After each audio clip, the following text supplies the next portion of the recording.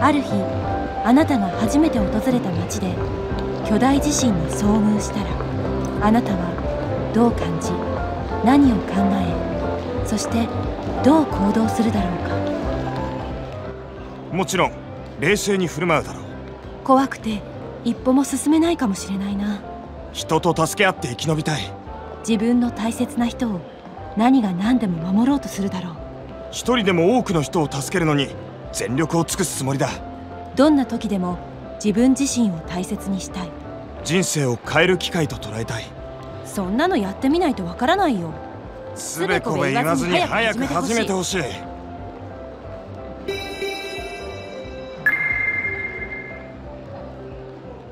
僕は私は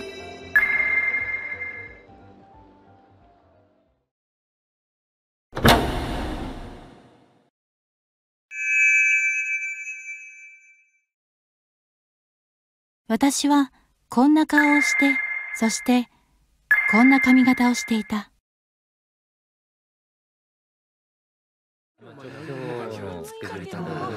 はいね、ちょっと確認しました。昨日あんなことなければ、来てもすぐ帰れた。サボってんじゃないの。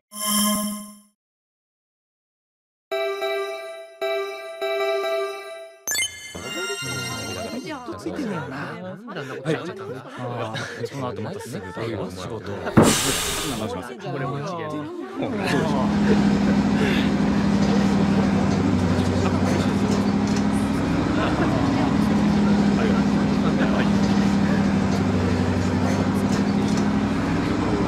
私はこのバスに乗って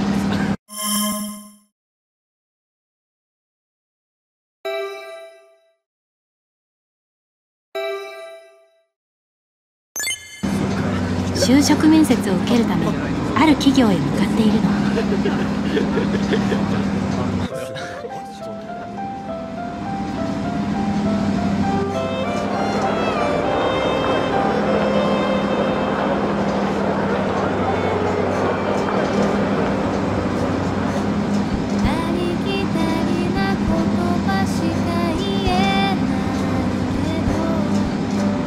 ないけど次は水田公園前水田公園前横流なる方は次で以下を押してください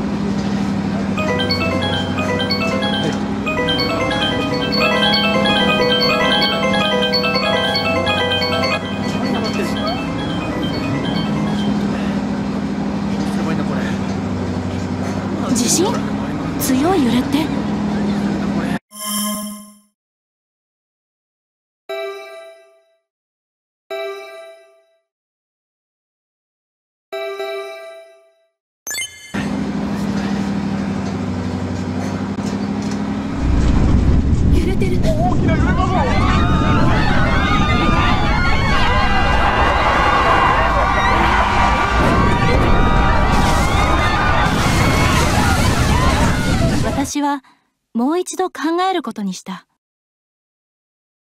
もし巨大地震にあったら。しかも初めて訪れた町で。巨大地震にあったとしたら。私は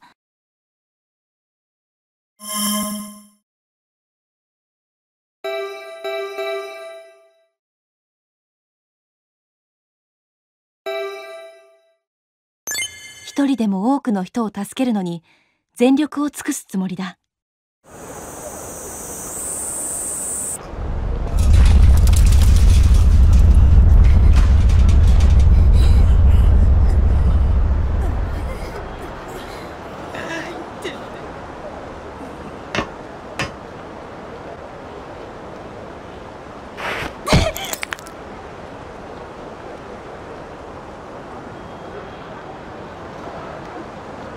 あんた、だ、大丈夫か名前は名前は言えるか？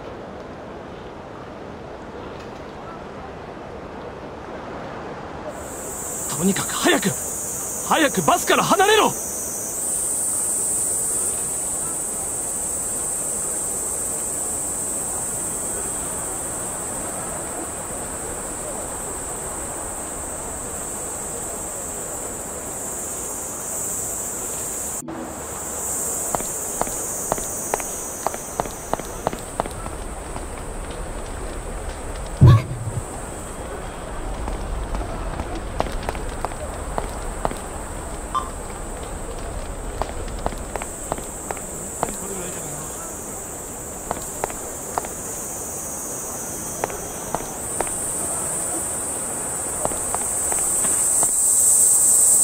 ここからは地震情報に全て切り替えて放送してまいります。川瀬県で強い揺れを感じました。翡翠市にあるスタジオでも強い揺れを感じました。身の安全を確保することを最優先にしてください。倒壊している建物には注意してください。上からの落下物に注意して身を守るてください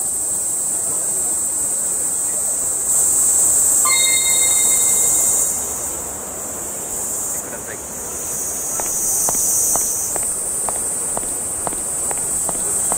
山口市震度6弱が川瀬県西部北部震度5が川瀬県東部震度4が福崎県東部富島県西部その他山形県南部でも震度3を観測しています。ここからは地震情報に全て切り替えて放送してまいります。今後大きな余震が発生する恐れがあります。身の安全を確保することを最優先にしてください。倒壊している建物には注意。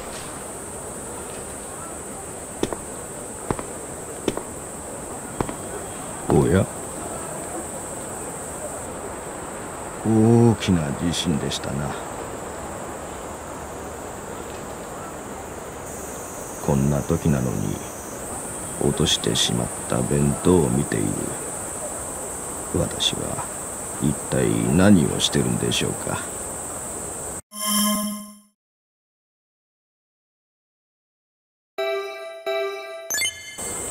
そうですよ。大きな地震が起きてるのに。確かに。こんな時に私は公園でぼーっとしている全く緊張感がない。こんな時になんですがちょっと座りませんか？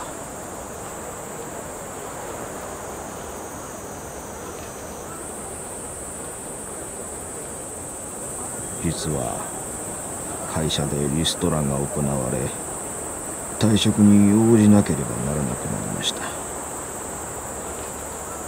家族に打ち明けることができず出勤するふりをして毎朝家を出ます。もう1ヶ月近くこの公園に通ってるんですよ。次の給料の振り込み日が近づいているっていうのにどうすればいいんだろう。そんな彼の姿を見て私は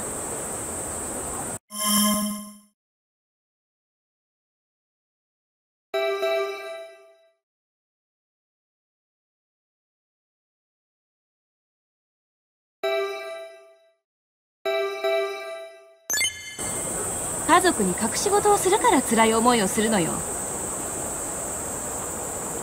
お見苦しいところを見せてしまいました。若い人には頑張ってもらいたい。私のようにならないように。優先にしてください。倒壊している建物には注意してください